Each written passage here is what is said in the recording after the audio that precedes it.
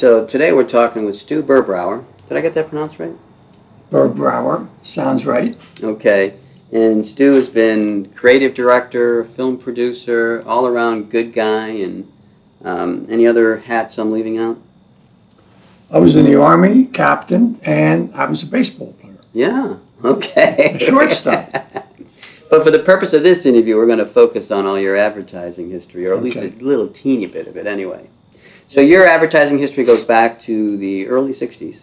1960, uh, exactly.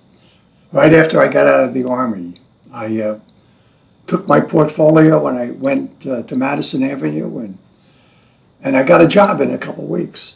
Nice. Yeah. And at some point after that, you started producing some of the most notable commercials from that era of the 60s and the 70s and into the 80s?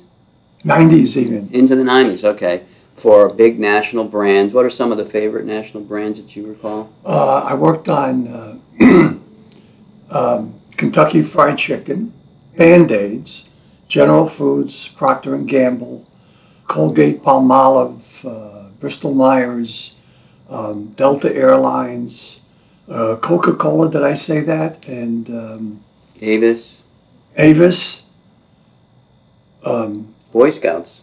Boy Scouts of America, New York State Lottery. Um, I worked on Ford. I worked on Chrysler. I worked on Goodyear tires. Um, I worked on everything except fashion, Hmm. and um, you know, um, clothes. I didn't know anything about it, Okay. that subject. I also didn't work on cigarettes because I didn't want to Hmm. and um, but mostly food, packaged goods, and um, and they were uh, big international companies with huge budgets. I was uh, shocked that I had all this billing I was responsible for. Um, so I did that through the 60s and 70s and 80s. Okay, so it would be safe to actually say you're like one of the original Mad Men. Uh, definitely, I think not the guy kind that smoked because I never smoked, and but I I could be, you know, the guy who drank, Okay. you know, because a martini was a nice thing, and uh, I got most of my ideas after having a martini, Hmm. straight up with olives. All right. Well, let's get right into the advertising and the heart of the stuff that we want to uh, convey in this in this interview. What would you say are the basic concepts of advertising in general? Create awareness and demand for your product, because if you don't tell them about it, they're not going to know about your product and uh, they're not going to buy it. So if you look at all the great companies in the world, and what do they have in common? They all advertise. They all have huge advertising budgets. And that's how they became big. Uh, I'm, I'm convinced that uh, it stimulates um, the economies of everybody in the world, every country in the world. Okay. So, in, in the process of trying to create awareness, for example, what would you say are the, the main points that uh, make that awareness building more effective or more poignant? um, to create awareness, you have to find a the big idea and um, of, of a product. And there are certain rules that you can use.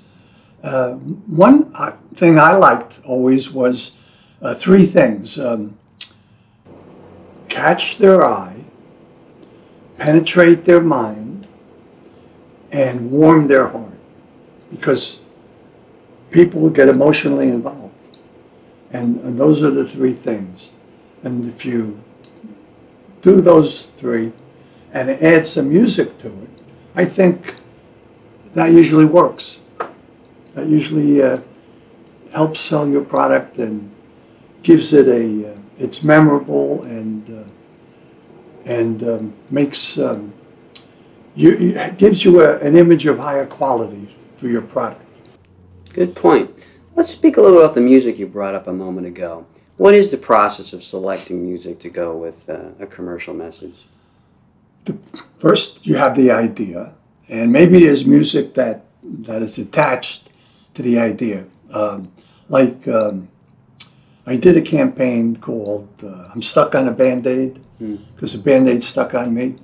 I didn't like the line. I thought it was dumb, and uh, I couldn't come up with visuals.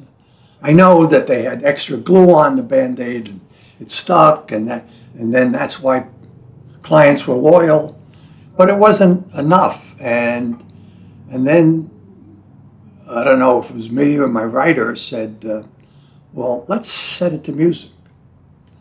And I couldn't visualize. I'm stuck on a band-aid because a band-aid stuck on me. But we brought it to a music house, which writes jingles, and they came up with a tune, and that campaign took off mm. because of the music. Only because, well, maybe not only, but that was the key thing, I think. Okay. The music.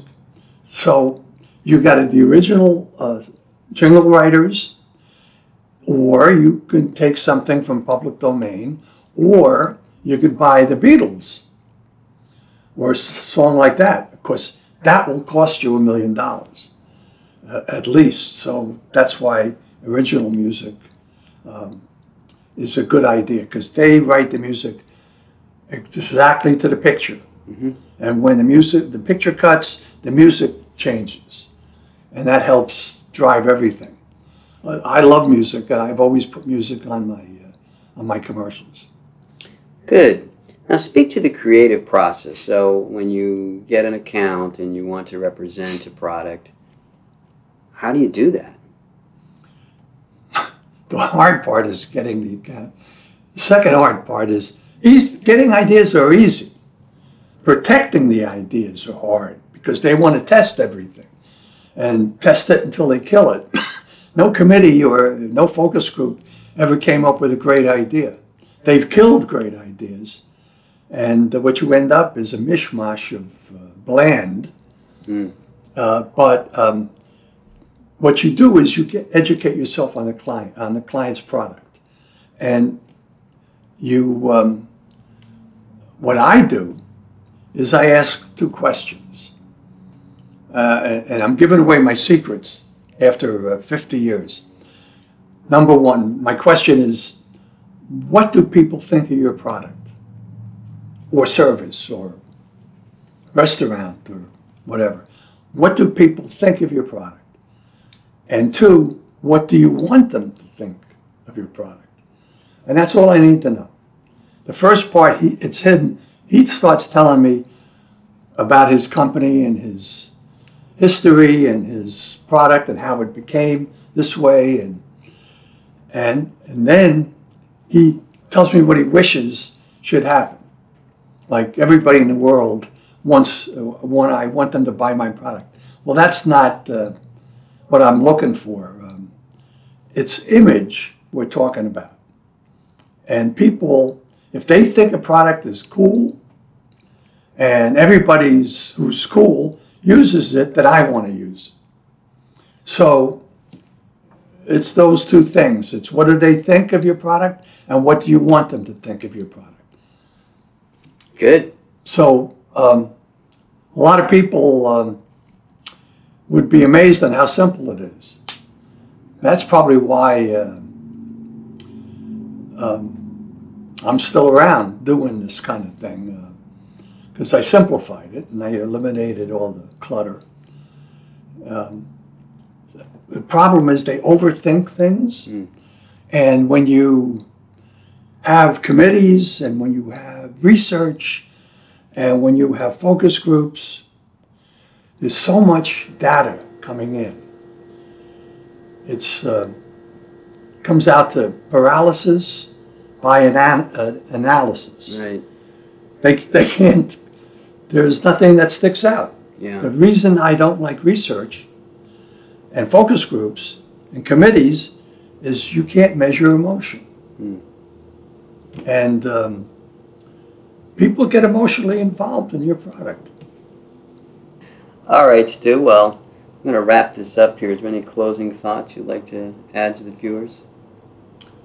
You got to hook them in four, the first four seconds, or um, you know, years ago, people have to get up, cross the room, change the channel on the TV. Now, now, now they're standing there with the with the uh, with the remote in their hand and their their finger on the button. so, you know, talk about trigger happy. All right. Well, thank you very much for sharing your experience too. All right, next time you come, I'll give you a martini. All right. Very good. Take care. Thank you.